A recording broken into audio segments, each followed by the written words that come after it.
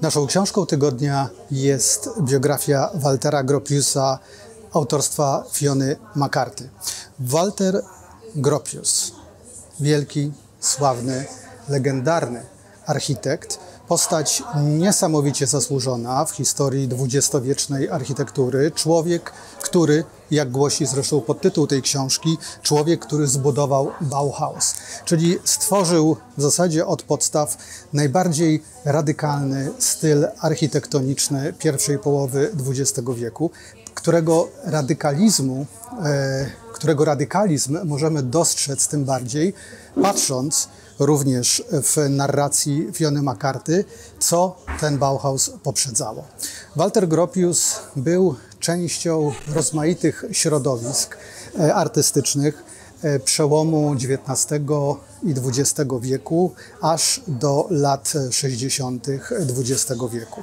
Znajdował się w centrum największych, najważniejszych przemian i prądów artystycznych e, tamtego okresu. Wiedeńska secesja. Brylował na wiedeńskich e, salonach, ożenił się zresztą z wdową po Gustawie Malerze. Potem stworzył rzeczony Bauhaus, jeden z najbardziej rozpoznawalnych w ogóle w historii świata stylów architektonicznych, który zawładnął bardzo szybko również sztukami użytkowymi i do dziś cieszy się dużą popularnością. E, działał za Hitlera, potem podzielił los wielu artystów, humanistów, intelektualistów niemieckich skazanych niejako na emigrację. Wylądował, tak jak wielu z nich, w Ameryce, gdzie próbował kontynuować swoje dzieło już w zupełnie innych bardzo kapitalistycznych, bardzo twardych i trudnych warunkach.